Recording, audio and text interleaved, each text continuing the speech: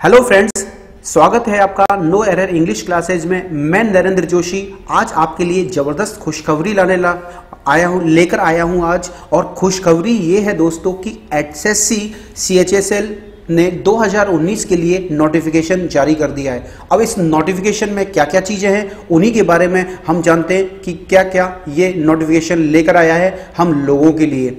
अब देखें दोस्तों, यहाँ पर अगर C H S L SSC 2019 के नोटिफिकेशन की बात करें तो ये नोटिफिकेशन जारी हुआ है दोस्तों 5 मार्च 2019 को। अगर पोस्ट की अगर मैं बात करूँ तो एलडीसी की पोस्ट है, यहाँ पर जूनियर सेक्रेटरीट की पोस्ट है, इसके अलावा पोस्टल असिस्टेंट और सॉर्डिंग असिस्टेंट के लिए, और साथ ही साथ डेटा एंट्री ऑपरेटर के लिए निकाली गई है। अब देखें दोस्तों, यहाँ पर एग्ज़ाम जो स्टार्ट होगा, उसका स्केड्यूल क्या है, क्या डेट्स हैं, उनके बारे में चर्चा करते हैं। ऑनलाइन एप्लीकेशन जो फॉर्म भरने की डेट है, वो है दोस्तों यहाँ पर 5 मार्च 2019 से शुरू हो जाएगी और लास्ट डेट जो है ऑनलाइन रजिस्ट्रेशन की, वो 5 अप्रैल 2019 है। टेयर फ़र्स्ट के एडमिट कार्ड आप जून 2019 में प्राप्त कर सकते हैं और टेयर फ़र्स्ट का जो एग्ज़ाम है, वो फ़र्स्ट जुलाई से लेकर 26 जुलाई तक चलेगा। अब देखें, टेयर सेकंड के जो एडमिट कार्ड है, वो आपको सितंबर में प्राप्त हो जाएँगे और टेयर सेकंड के जो एग्ज़ाम है, उसकी बात करें तो वो ट्वेंटी ऑफ़ सेप्टेंबर को होगा। अब आगे चर्चा करते हैं कि आगे और क्या क्या चीज़ इस नोटिफिकेशन ने हमें दी है।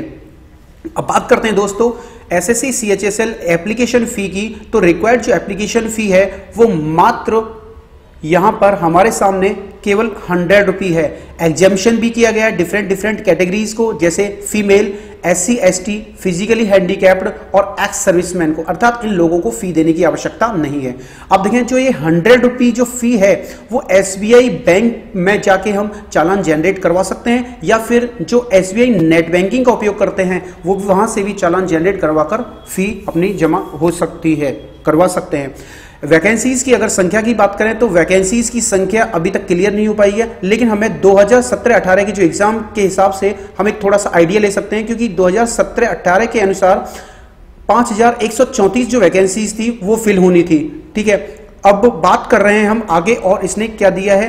अब बात कर रहे हैं यहाँ पर एस एस सीएचएसएल के सिलेबस के बारे में। अगर मैं यहाँ पर सिलेबस की बात करूँ 2019 के लिए तो जैसा कि मैंने बताया कि तीन डिफरेंट लेवल्स में होता है एग्ज़ाम अगर टेयर फ़र्स्ट की बात करें तो वहाँ पर जनरल इंटेलिजेंस के 25 क्वेश्चन 50 मार्क्स के जनरल अवेयरनेस के भी 25 क्वेश्चन 50 मार्क्स के क्वांटिटेटिव एप्टीट्यूड के 25 क्वेश्चन 50 मार्क्स के और इंग्लिश लैंग्वेज के ही 25 क्वेश्चन 50 मार्क्स के होंगे। ये टेयर फ़र्स्ट एग्ज़ाम है, जो कि चार सेक्शंस में होगा और इसका टोटल ड्यूरेशन है वो 60 मिनट होगा। अब देखें दोस्तों, यहाँ पर टाइम रिड्यूस किया गया है। 2017-18 तक जो टाइमिंग थी, वो थी 75 मिनट्स अब की बार केवल 60 मिनट टाइम किया गया है। इस चीज़ का ध्यान रखें।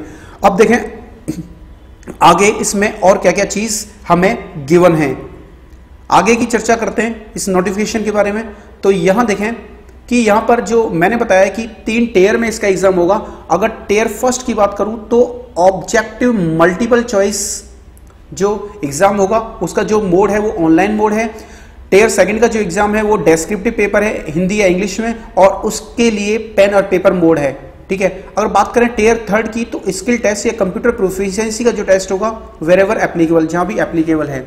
अब एसएससी सीएचएसएल की प्रिपरेशन करने से पहले हमें एक चीज़ का ध्यान रखना है कि जो एग्ज़ाम पैटर्न में और सिलेबस में चेंजेस किए गए हैं, वो किस प्रकार हैं? वो देखें एसएससी सीएचएसएल 2019 के टेयर फ़र्स्ट जो एग्ज़ाम होगा, वो ऑनलाइन मोड ही होगा, ठीक है? और इंट्रोडक्शन होगा, जो डेस्क्रिप्टिव पेपर का, वो 100 मार्क्स का होगा और उसका जो टाइमिंग होगा दोस्तों 60 मिनट्स होगा और पेन और पेपर मोड है दोस्तों ये। अब टाइम लिमिट में रिडक्शन किया गया है टेयर फ़र्स्ट के लिए। जैसा कि मैंने अभी थोड़ी देर पहले बताया था कि पहले पहले जो थे वो 75 मिनट्स दिए जाते थे और अब केवल, और केवल 60 मिनट दिए जाएँगे।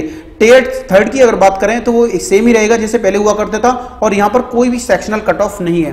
तो देखें दोस्तों बहुत ही अच्छा आप लोगों के लिए मौका है एसएससी सीएचएसएल का आप फॉर्म फिल करें। आपके पास पूरा महीना है और उसकी प्रिपरेशन आज से ही शुरू कर दें। और प्रिपरेशन में सबसे ज़्यादा जो अहम रोल रहता है ए, जो मुख्य रोल है वो है इंग्लिश में बच्चों को सबसे ज़्यादा दिक्कत होती है। और अगर आपको किसी भी प्रकार की इंग्लिश में कोई दिक्कत है और क्लासेस अगर लेना चाहते हैं तो no error English classes join आप कर सकते हैं। जहाँ पर मेरे ही आ, अंडर में आप रहकर गाइडेंस प्राप्त करेंगे इंग्लिश की और इंग्लिश की नॉलेज लेंगे। नो एरर इंग्लिश क्लासेस से जुड़े रहने के लिए धन्यवाद। अगर आपको वीडियो बहुत अच्छा लगा है तो दोस्तों के साथ भी शेयर करें जिससे हम ज़्यादा से ज़्यादा लोगों तक ये वीडियो पहुँचा सकें और उनको बेनिफिट भी मिल पाए। धन्यवाद।